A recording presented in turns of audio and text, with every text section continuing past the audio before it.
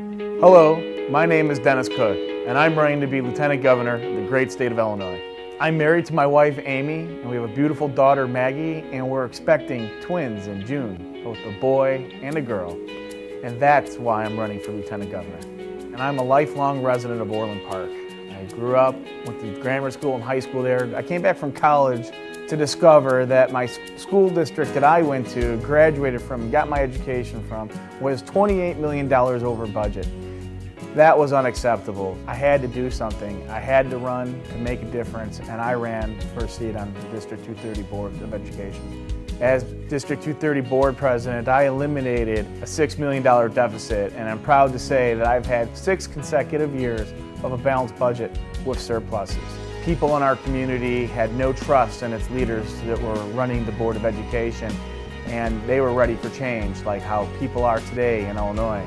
As your next Lieutenant Governor, I want to focus on jobs in Illinois. Not just jobs that we want to create in Illinois, but jobs that we currently have in Illinois. We want to make sure that we keep businesses here in Illinois and give them the tools and the opportunity to grow so that way they can be here for a long time.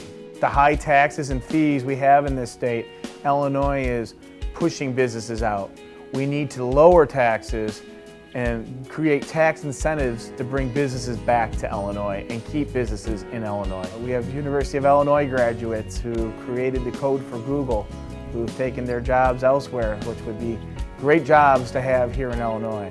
But the climate isn't friendly so that they could build and bring those types of jobs to Illinois. Higher education is important. Education equals jobs and in this day we haven't been friendly to higher education. The key is, is embracing higher education and encouraging our students to go to school here and stay here and create jobs here.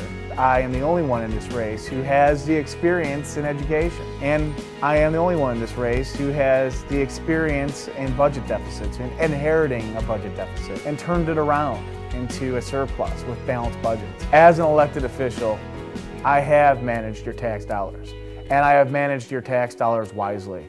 And I will continue that effort as your Lieutenant Governor. My name's Dennis Cook, and on Tuesday, February 2nd, I need your support. Vote for me, and let's get Illinois working again.